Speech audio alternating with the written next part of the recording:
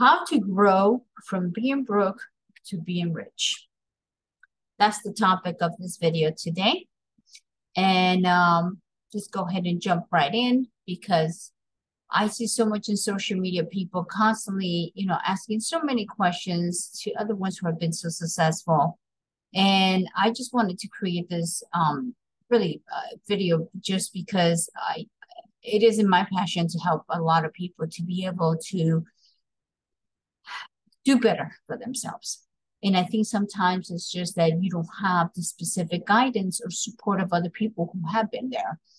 So some of the tips I want to offer you, and hopefully it might help you, it's number one, the only way that you can stop being broke in the position that you are financially is by starting to take baby steps. And there's no way around it. Okay. Um, yes, we all hope to maybe win a, a lottery ticket, or perhaps if you're having money, good for you. Uh, but the majority, I think we are not that lucky. so if we were not born in gold crib, which is only probably 5% of all population, then we are left another 95%. So hate to break you the reality, but I think that is most of the true reality for the majority of people. Um, so and because of that, we need to find ways how to be really, really smart with our money. So, and I say this in many, many years that I've been sharing my tips and my information. If you don't know who I am, my name is Liz Soria. I am a tax accountant and I do specialize in certain niches like real estate e-commerce, but also I love investing.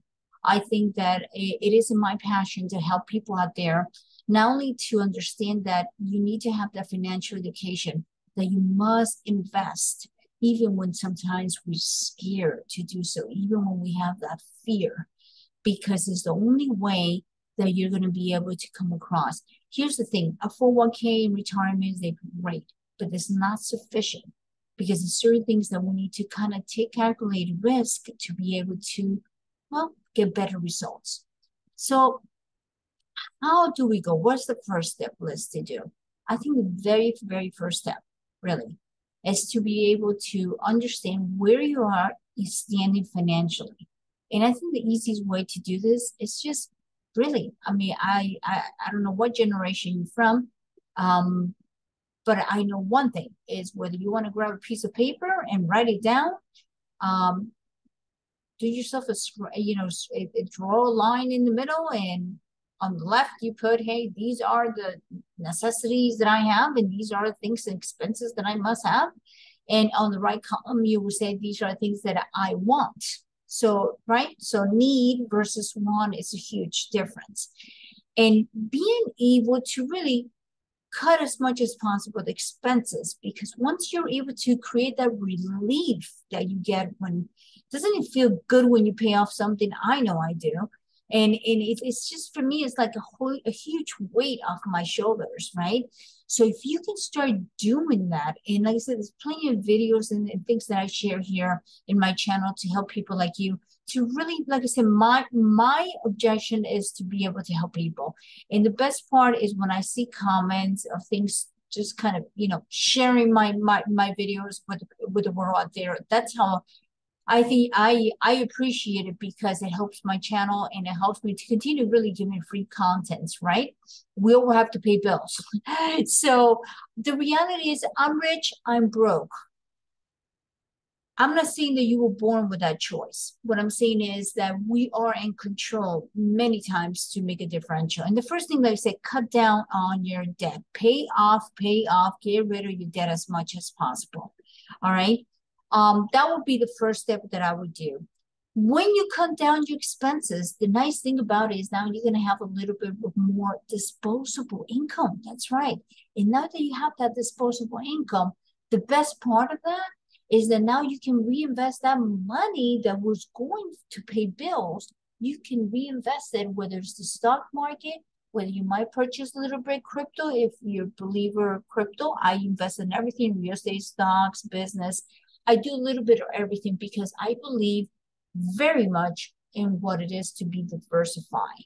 Because when one asset goes up, another one goes down, and hopefully you have that um, you know, cushion and also the fact that you're able, right, to offset some market that might go down. Okay, so I think it's really important. I know people that collect in collectibles, right? They, do, you know, uh, you know, coins and they do other certain things. Whatever it is that you're more inclined to, do it because what I think is most important is you getting started. So I always tell people if you have a couple thousand dollars sitting down in your money market account, your savings account, yes, do not touch your emergency. I'm not talking about that. We minimum three months to six months. I think it's a decent average uh, for the typical, you know, uh, person out there. Uh, if you can have a full year, kudos to you. I mean, that's even way better. Um, I think there's nothing more than having the safety nest of knowing that you have sufficient money to cover for your essentials. And right. So how to do this? Let's pay down the debt, right? Um, I given a lot of tips before where whether maybe you can find out with your credit card companies. Many uh, sometimes sometimes I say sometimes offer what they call transfers. You can do a transfer three to five percent. They charge you a one-time fee, and maybe they give you 12 months. And then you have those 12 months to pay down those high credit cards. See what I'm saying? That is very, very important.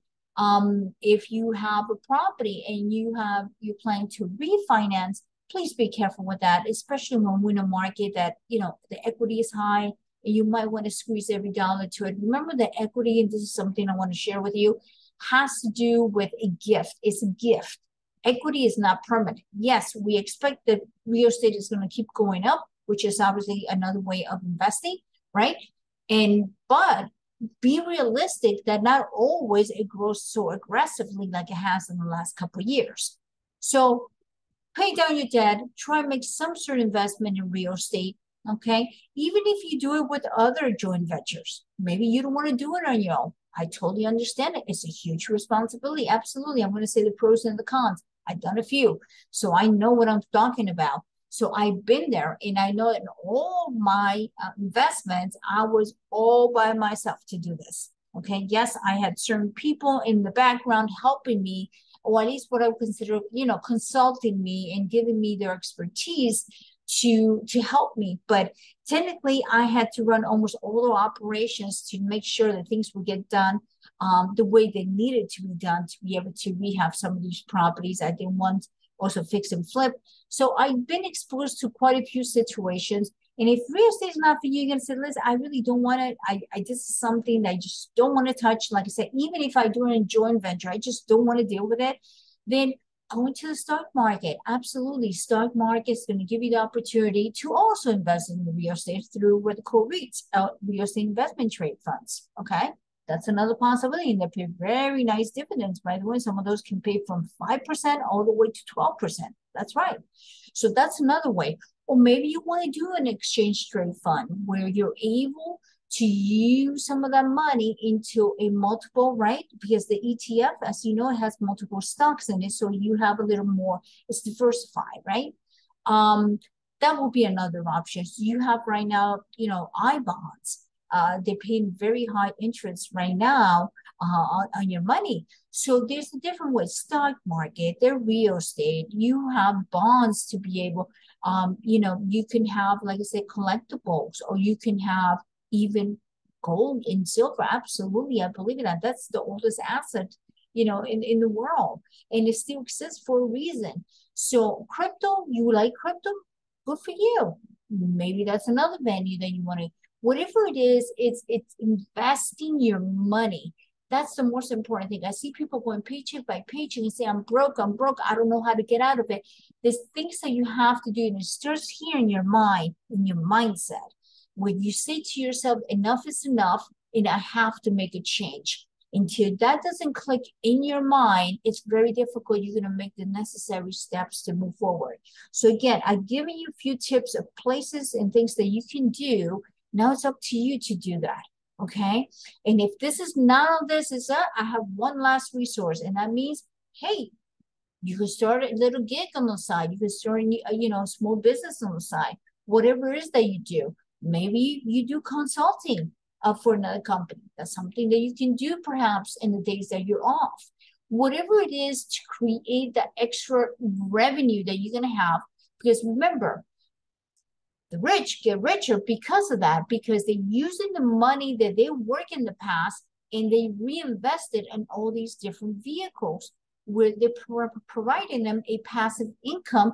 And on top of that, they're getting all these tax breaks or loopholes as we know them. Okay. So again, I really want everyone out there to be able to take the baby steps, but keep going because I do believe that when you're proactive, you will see results in your life. And I hope again this has helped you. Um, please like, share, and subscribe. It allows me to continue giving free content. And uh, and if you have any other topics that you'd like me to share, by all means, uh, I, I love to hear from you. Um, I'm always open ears. Um, and like I said, there's a lot of other videos. Um, but most importantly, what I want you to know is I'd like you to go ahead and really get the proper financial education. That's the most important thing, financial education. Um, we need to invest the time and we need to invest money also into that. But once you feel confident, once you feel sure, don't want to do it solo, I don't blame you go and get yourself a good group coaching, something that's going to be feasible for you to, you know, invest, but something that you're going to be able. It doesn't mean that because you watch a few YouTube videos or read a few books or whatever it is that you do and listen to podcasts means that you have to pull the trigger. Take your time. Take your time. The most important thing is getting to the right investment and to be consistent. That's my final advice anyhow, I hope this has helped and I will be seeing you hopefully on the next video. Bye-bye.